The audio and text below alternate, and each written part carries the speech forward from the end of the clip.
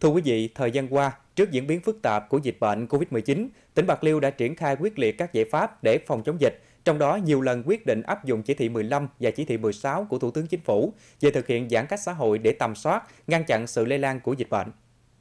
Mặc dù việc gia hạn áp dụng giãn cách xã hội để phòng chống dịch thời gian qua đã ảnh hưởng ít nhiều đến sản xuất và lưu thông hàng hóa của các doanh nghiệp, nhưng hai tháng qua, nhờ chủ động phương án sản xuất nên các doanh nghiệp hoạt động trong lĩnh vực chế biến xuất khẩu thủy sản vẫn duy trì hoạt động, đồng thời thực hiện tốt các biện pháp phòng dịch. Ngay từ khi xuất hiện ca dương tính với COVID-19 đầu tiên trong cộng đồng, tỉnh Bạc Liêu đã quy động cả hệ thống chính trị vào cuộc với quyết tâm cao nhất nhằm sớm đẩy lùi dịch bệnh. Quỹ ban nhân dân tỉnh cũng đã cử các đoàn đến hướng dẫn các doanh nghiệp thực hiện phương án sản xuất trong tình hình có dịch, động viên các doanh nghiệp duy trì sản xuất. Nhờ đó, nhiều doanh nghiệp tuy có giảm quy mô vẫn duy trì hoạt động để đảm bảo các đơn hàng, không để đứt gãy chuỗi sản xuất và cung ứng hàng hóa. Theo lãnh đạo các doanh nghiệp chế biến và xuất khẩu thủy sản, dịch COVID-19 thời gian qua đã tác động tiêu cực đến lĩnh vực này.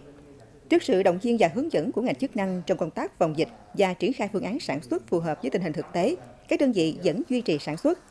Để phòng chống dịch bệnh, hầu hết các đơn vị đã cắt giảm số lượng công nhân, tăng cường ứng dụng máy móc và công nghệ thông tin, sản xuất, đảm bảo tiêu thụ nguyên liệu cho nông dân và giữ vững các đơn hàng. Điển hình là công ty trách nhiệm hữu hạn thủy sản Thái Minh Long ở thị xã Giá Rai. Duy trì sản xuất trong điều kiện phòng chống dịch, công ty đã cắt giảm lượng công nhân hơn 50%, từ 540 người xuống còn 250 người, thực hiện nghiêm ngặt các quy định phòng chống dịch mà ngành chuyên môn đã khuyến cáo. Chia ca để mà à, công nhân họ à, họ đủ cái khoảng cách để thực hiện chương trình 5K rồi à, thực hiện các cái cam kết cho công nhân là đi một cung đường hai địa điểm. Phải chắc chắn câu chuyện đó và công nhân cũng phải cam kết câu chuyện đó tức là anh đi mà anh ghé đâu là không được. Anh phải đi đến công ty và anh về nhà. Sau khi anh về nhà anh muốn đi đâu thì có chính quyền địa phương họ có giấy có tờ có giấy đi đường cho anh chị ở đó. Cho nên là đảm bảo về vấn đề là là thực hiện các cái biện pháp phòng chống dịch tại công ty rồi cũng là quản lý được đội ngũ công nhân mình. Theo lãnh đạo công ty trách nhiệm hữu hạn thủy sản Thái Minh Long, thời gian qua không chỉ thực hiện tốt quy định phòng chống dịch đối với các nhân viên, công nhân của công ty mà đối với các khách hàng, nhất là tài xế đến giao và nhận hàng, được kiểm soát và phòng chống dịch nghiêm ngặt. Vừa phải thực hiện cái việc là à, thực hiện phòng chống dịch chung theo xã hội, vừa là tự bảo vệ mình, cho nên là các biện pháp phải duy trì. Ví dụ như là để tránh lây nhiễm từ các cái vùng ngoài vô thì tài xế mà lái xe giao hàng, ví dụ là tài xế giao container, thì khi đến đây là phải ở yên trên xe, à, muốn ăn, muốn uống thì có người phục vụ tới nơi muốn đi vệ sinh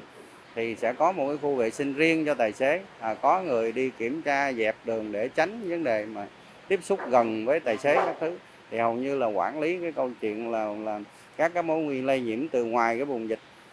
từ cái những nơi có dịch mà đến đây thì hầu như là mình quản lý tuyệt đối cái đó 100%. Thị xã Giá Rai có hơn 20 công ty chế biến thủy sản đăng ký hoạt động. Thời gian qua, các doanh nghiệp này không chỉ tạo việc làm cho hàng chục ngàn lao động địa phương mà còn là kênh tiêu thụ lớn nguồn nguyên liệu thủy sản của nông dân trong và ngoài tỉnh. Từ khi dịch bệnh bùng phát lần thứ tư, thị xã Giá Rai đã triển khai nhiều giải pháp kiểm tra, hỗ trợ kịp thời về phương án sản xuất, cách thức phòng chống dịch đến từng doanh nghiệp. Đồng thời tạo kênh thông tin kết nối trực tuyến giữa chính quyền với doanh nghiệp để kịp thời tháo gỡ khó khăn vướng mắt mà các doanh nghiệp gặp phải trong hoạt động. Chúng tôi đã chỉ đạo cho là các cái ờ, ngành chức năng rồi là tôi là là làm việc với các cái doanh nghiệp. Thì các doanh nghiệp đồng tình để rồi làm một cái điện đường truyền à, để rồi hội nghị trực tuyến là với chủ tịch đó là đối thoại vào hàng tuần hoặc là giả là đột xuất. Thì cái này đã qua triển khai như vậy đó là doanh nghiệp rất là đồng tình. Và hiện nay đã vận hành rất là tốt cái này. À, thì ờ, trong cái, có cái chủ trương này để chúng tôi tổ chức ờ, là họp ờ, là với các cái doanh nghiệp, rồi để nghe doanh nghiệp phản ảnh những cái thuận lợi, những cái khó khăn trong cái phòng chống dịch và đồng thời, mình có cái chỉ đạo cho các cái doanh nghiệp để cùng đó là cộng đồng trách nhiệm với nhau để chúng ta bảo vệ, để chúng ta là vừa sản xuất, thực hiện mục tiêu mục tiêu kép, vừa chống dịch và vừa sản xuất để góp phần cái tăng trưởng kinh tế cho tỉnh nhà. Cả nước nói chung, Bạc Liêu nói riêng đang có nhiều giải pháp nhằm sớm đẩy lùi dịch bệnh. Chính phủ, Thủ tướng Chính phủ cũng đã chỉ đạo phải thực hiện tốt mục tiêu kép, vừa đảm bảo công tác phòng chống dịch, vừa phát triển kinh tế.